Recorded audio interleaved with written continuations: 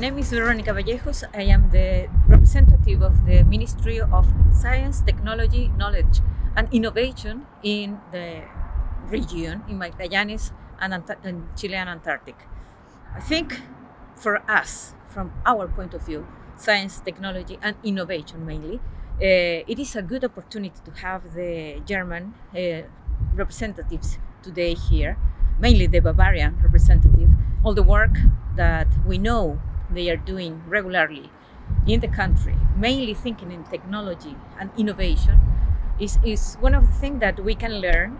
Also, I hope we can enhance the collaboration between both countries, uh, but mainly thinking in, in, the energy here in, in Magallanes and the possibility also to improve the, the local industries and why not the future uh, hydrogen industry in the region.